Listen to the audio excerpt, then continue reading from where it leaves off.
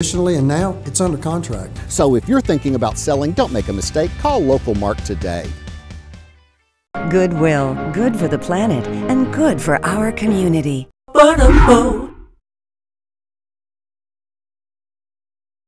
We are going to talk the housing market here in Chattanooga because every day when you wake up and you go to get your morning cup of coffee, it is a new day in real estate here. And so the man to ask is Mark Hite. He's back on the show with the Mark Hite team. Good to see you. Good morning. Happy St. Patrick's Happy Day. Happy St. Patrick's Day wearing your green. Well, you know, we've got to have every hook we've got possible, you know, uh, because it is a competitive real estate market. But that's a good thing, isn't it? Isn't competition a good thing? You know, it absolutely is. And the market is returning to a little more competitive nature. You know, it- it's a very positive thing. You know, we had been, a year ago, Julie, you and I sat here on the sofa, it was unhealthy. Right. Appreciation was running up 20%. That was unsustainable. Yeah, and, And- selfish. and it felt very selfish. It was just, it was not a good time. And for anybody except for sellers who were getting a ton more money than perhaps, you Mm-hmm. know, was justified. But I'm so happy this month um, we saw the median price increase 3.3%, just as our first slide shows here. I like the way you explained it to me though, because if you are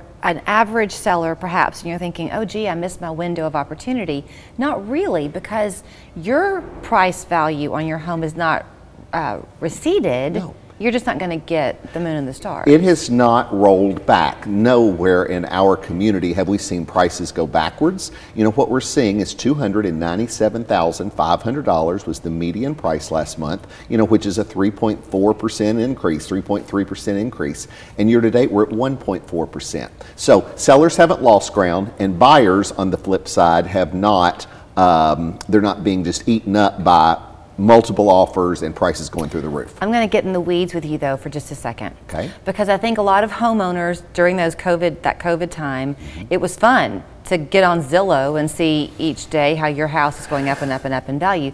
If you're going on Zillow, there's a good chance that that number is going down, right? So it's a great question because um, I had an appraiser call me the other day and he said, Okay, Mark, he said, just leaving one of your houses, you know, we're going to hit the value. He said, but the comps that I'm using will drop off next month, meaning they were approaching a year old. Oh. And so the, it was the overheated January, February, March period. Okay. So they really want them to be more closer and closer to today's date. Mm-hmm. So the more recent comps, if you went back 90, 120 days when the market's been contracting, Mm-hmm. they were not at those stronger prices. Okay, something else. You and I were talking a little bit off camera, and we'll get into this on camera. Um, appraisal value, the, the, what a house sells for, is not only important to the seller, Right. uh, but also to the neighborhood. Right. Right, because that then affects appraisal prices moving forward. Mm-hmm.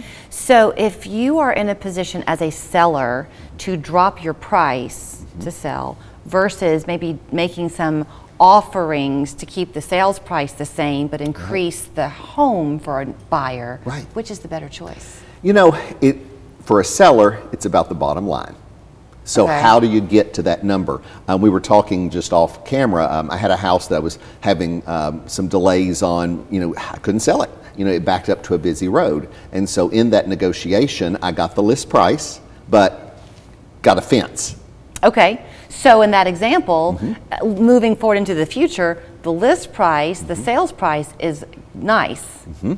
Uh, so for other people in that zip code area, Right. that's a good thing. And at the same time, negotiation has returned, just as our next slide's going to show. Okay. Is last month we saw the percent of original list price received. So what that means, um, it was 3.9% negotiation took place. Okay, So to make it easy, if your house was $100,000, on average you got $96,100. okay. And so that you can apply that to a $300,000 house. And so um, a year ago, again, we were at 100.1% of the list price because this is what your neighbors were getting Oh, right. because they were getting multiple offers and going over the list price. Okay. Now, there may still be a few of those, but negotiation has returned, whether it's putting up fences, coming off the price a little bit, or maybe helping the buyer buy down their interest rate. Right, okay. All of those things are helping us move houses. I've got about two minutes left, and I know you had come with three slides. Did we get them all, or was no, there one we've more? got one more. Okay. And that is that sales actually uh, did decline again last month. Now, if you we sat here in October, November, December, January, and saw sales declining 25 to 30 percent to last year. Well, it's we've hit the bottom and we're starting to bounce back. Um, it was only 9.5 percent this month. Okay. So this is the number of homes that sold in February versus February last year. We didn't see a 25% reduction like January. We saw a 9% reduction. So, what I would say, having been on both sides of the table, and most people have as a buyer or a seller, uh, either party needs great representation because both parties are going to be negotiating. Right. You need an advocate, whether you are a home seller or a home buyer. And with my team, that's what I bring. We can represent you as the seller, and if we find the buyer for the property through my marketing, which happens 33% of the time, they're assigned to another team member. So they have an advocate to see where the fence lines are and where they can put that new fence. Right. Or, you know, the importance of getting an inspection. And Mr. Seller needs an advocate to get the right price. That's right, because the buyer does not want to lose the house, Right. and the seller doesn't want to lose the sale. That's exactly right. So here's where you'll find both sides of the aisle. Uh, is at the Mark Hite team. Uh, Mark Hite Homes is a .com is an easy website to remember. 265-0088 uh, is the direct line into the office. Is that right? That's it. Thank you, my friend. Thank you. Keep wearing your green. Color of money. Abbott Elementary's Quinta Brunson is on the Jennifer Hudson Show. You work with a lot of kids on the show. Does it make you want to have kids? Opposite? and